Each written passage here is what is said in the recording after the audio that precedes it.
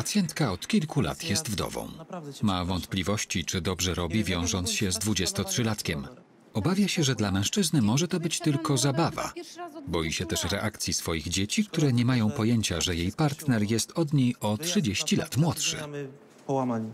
Pojedziemy za miesiąc. No ale kasa nam przepadnie. A tym się nie martw. Posłuchaj, martwię się, bo to ty wpłaciłaś też większość za mnie.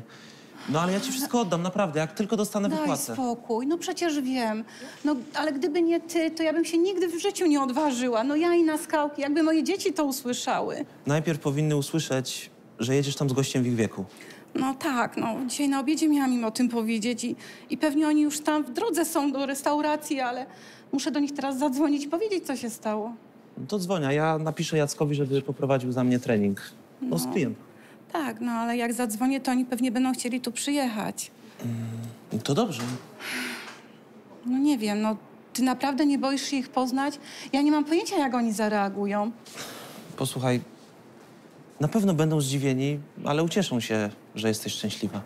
No, a ty jesteś szczęśliwy? Ja?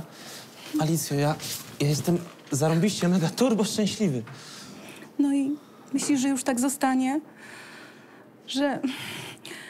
Wiesz, ja mi się wydaje, że jak kiedyś byś chciał mieć dzieci, to ja ci ich nie dam. No i, no i co wtedy będzie?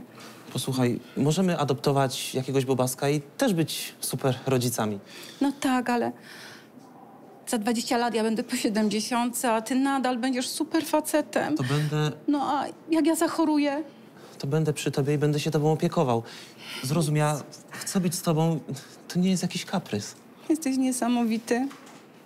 No już dzwoń po dzieciaki i nic się nie martw. Na pewno się dogadamy. Oby. W końcu jesteśmy w tym samym wieku.